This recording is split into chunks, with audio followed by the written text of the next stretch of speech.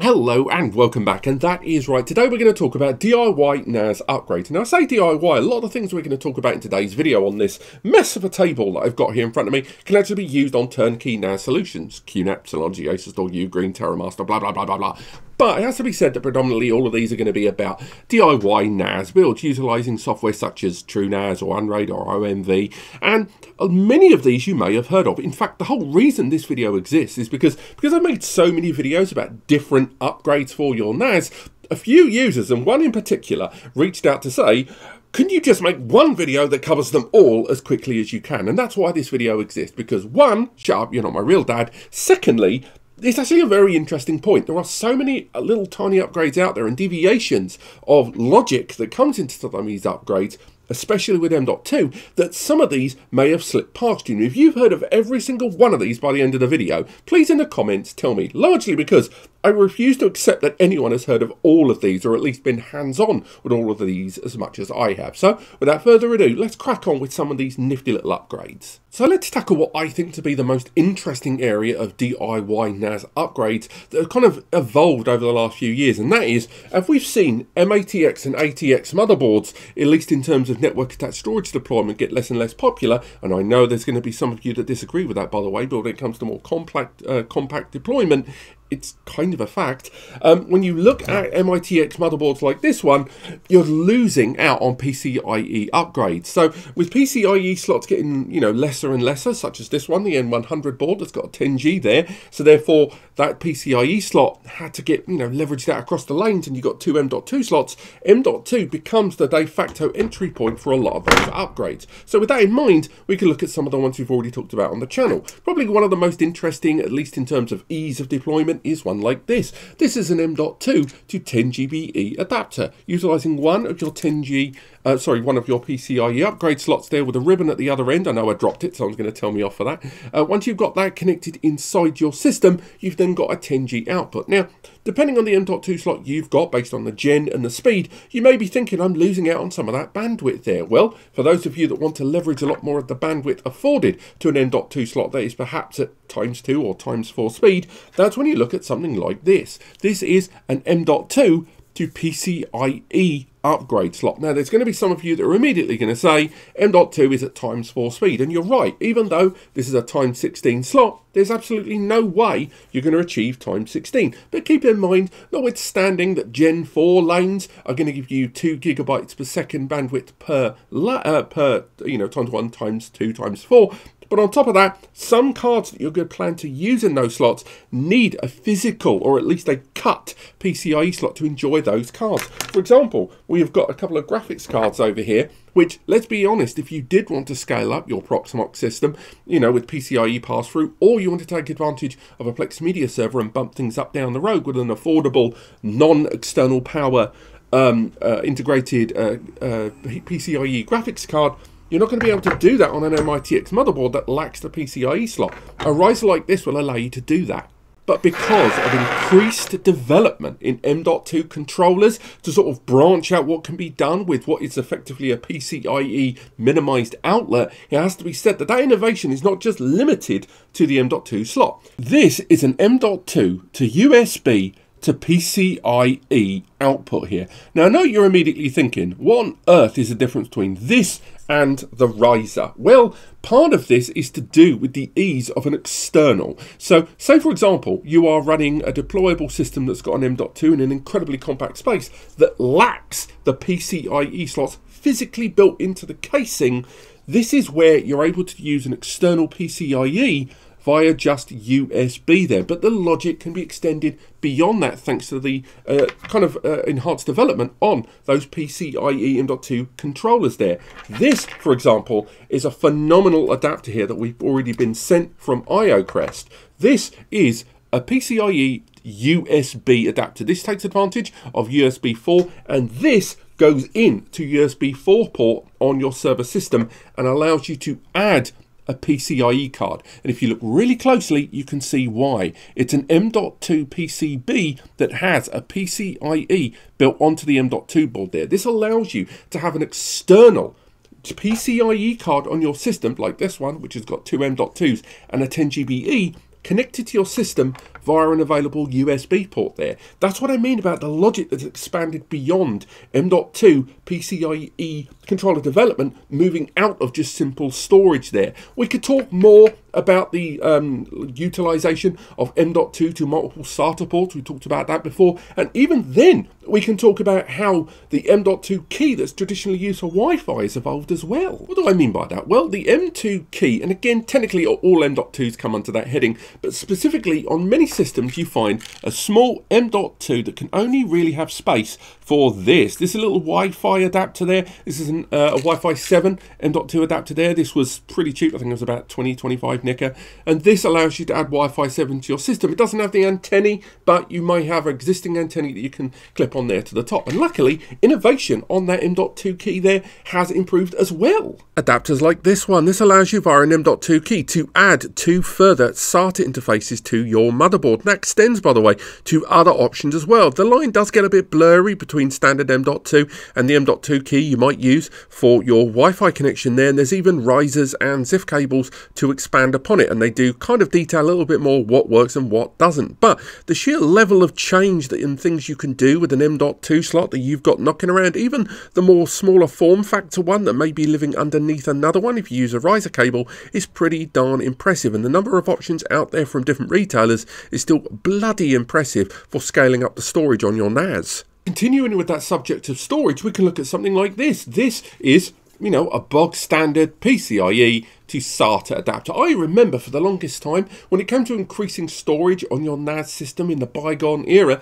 this was pretty much it in terms of adding more storage. You had to keep adding SATA cards. Luckily now moving forward into the future, so much has changed. Now some of it is wildly expensive. For example, this is the OWC accelerator card there, and this card here has got 8 Gen 4 M.2 NVMe slots inside on a Gen 4 PCIe. You can add a crap load of storage to your system there, but again, look at the size of this frigging card. It's going to take up so much room. Luckily, modern development really answered the call. We could look at that card we mentioned earlier on. This is that card from QNAP, the QM2 series there. They've got two and four M.2 NVMe slot cards here that also have 10 GBE ports there on the rear. But it kind of scales up more than that. Not Notwithstanding that you can go ahead and just get standard M, uh, M.2 laden cards in Gen 4 and Gen 3 that connect to a PCIe slot. But on top of that, you can also get U.2 adapters cards. Some of these also go up to Gen 4 as well. I don't know if there's any Gen 5 ones in the market, but this will allow you, if you do have an available PCIe slot and you want to take advantage of a larger capacity but faster SSD drive, little flash U.2 and U.3 perhaps, is available or at the very least in development thanks to those controllers being innovated upon. But you don't have to go that far out if you want to scale up your storage a little bit. You know, 2.5 inch to 3.5 inch SATA adapters have existed for a long time, but ones like this from the QNAP QDA series here has got RAID built into it. That means that with this you can take advantage of a couple of affordable smaller capacity SATA SSDs, use the RAID 0 controller or RAID 1 controller inside to then output directly into SATA and therefore get enhanced storage capacity but also speed via a single 3.5 inch SATA interface. More so than that, you can take advantage of another part of the QDA series. This is a 2 times M.2 to U.2 output there. That's right, this will allow you to attach a couple of M.2s with their Gen 3 speeds and output them via that SAS connector there. There is a lot to like about this and again, inbuilt RAID controller. And changing tack ever so slightly, let's talk about power because a lot of you are running very, very modest NAS build. Whether it is that you're utilizing it as an overhead from a larger, dumber storage server or you're running a NAS system where the priority is storage rather than system power, your draw is going to be a lot lower. And although there are external PSUs in the market, those little barrel connected ones, and you can get bigger internal PSUs, I think some users are rocking out with systems that can run on 65 watt or even less PSUs. Now, for the sake of clean, you know, line up around the power consumption of the devices in your in your network setup, and again, this isn't going to be for everyone, but I wanted to include it, you can get things like this. These are 100 watt rated USB-C power adapter converters here. These allow you to use standard USB power supplies and then convert them into power for your NAS system. You can reuse these. Now keep in mind you're going to need to get at least a 65 watt power delivery and there are 100 watt and higher power delivery USBs out there. Again it is based on USB architecture Ugreen. I've got a few of them and these aren't going to be for everyone but I wanted to include them in the list for those of you running incredibly modest or uh, micro ITX NAS deployments or even some of those pfSense router boxes that can be scaled out towards NAS. Circling back to USB support on a lot of modern NAS systems now. We're seeing more and more DIY NAS build motherboards rocking out with USB on board, and the compliance and compatibility of USB 4 and of course Thunderbolt 4 being integrated slowly but surely into the world of NAS. I do think it's worth talking a little bit more about what that means long term. So for example, Time was, if you want to take advantage of USB for network adapters, the number of range of options out there weren't great. You can get uh, USB to multi-port adapters if you choose, but the level of support and compatibility is negligible. On the other hand, you could get USB to 5 gig adapters. This is a WisdPi uh, $30 USB to 5 gigabit Ethernet adapter. That's half of 10 GBE just connecting it. The driver support is slowly growing and not all NAS brands support it. I know the driver I could find from a previous 2.5 gig adapter actually worked when using this in Unraid as well as a slightly patchy unofficial Synology NAS build there. You can take advantage of that. But USB 4 connectivity, it has to be said, has really opened the gates. We already talked earlier on about the USB 4 to uh, PCIe upgrade PCB um, adapter there, which does open the door to PCIe upgrade cards. Again, you can look at larger capacity cards, 25 gig and 40 gig. Keep in mind, you've only got 40 gigabits per second to play with there. So again, and of course, driver compatibility is a question. But USB 4 and Thunderbolt 4 connectivity support means that you can take advantage of things like this. This is the Sonnet Solo 10G that allows you to attach with bus power via a Thunderbolt connection and add a 10 GBE upgrade slot. OS support is going to be a big factor here, but that does, again, open the door to external upgrades on your NAS without tinkering. And again, if you're running a very compact, compact system, that's going to be hugely beneficial. But on top of that, Something we don't talk about enough here on the channel is bloody OcuLink. I know a number of you have almost been shouting it at the screen this whole time.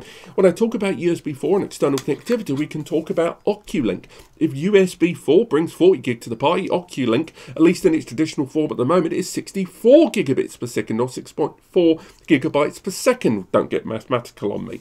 Now, something like this, this is from Oostar. This is an OcuLink and USB 4 connected 4 times NVMe external DAS box there. Again, at the moment, we've tested it on Oostar's uh, mini PC NAS system that we did a conversion on, and it worked.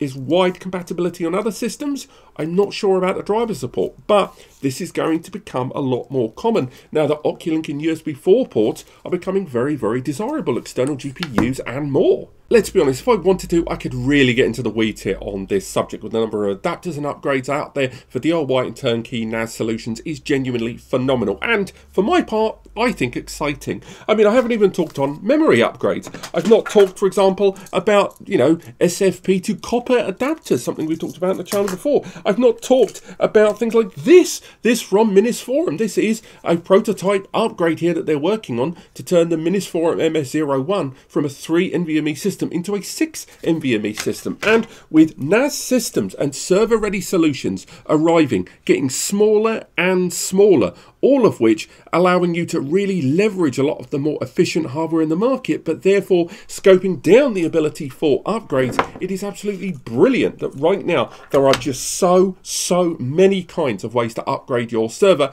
and they're getting smaller and cheaper too. But I think I'm going to wrap things up there. I think there are more things we could talk about, but I just wanted to merge as many into this video as per user request. If you are interested in any of the things that we talked about today, I'm going to link towards the video reviews for as many of these as I can find here on the channel, as well as links to get hold of these for yourself, if you are interested in getting hold of any of them. And if you found this video helpful, and more importantly, if you're going to go to any of the retailers listed below anyway, make sure those three things are true, please use the links in the description to get hold of them. Using those results in a small small commission coming here to me and Eddie here at NAS Compares. It's genuinely just us and it allows us to keep doing what we do. The free support section, more reviews, all of it. But that's up to you. Thank you so much for watching and have yourselves a fantastic week.